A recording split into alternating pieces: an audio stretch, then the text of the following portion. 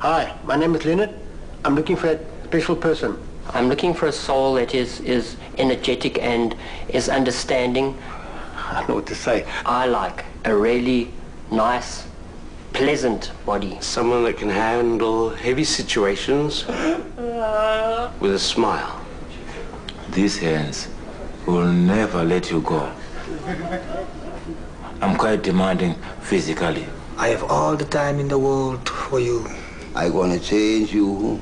Don't be scared of me. I'm not an animal. Papa.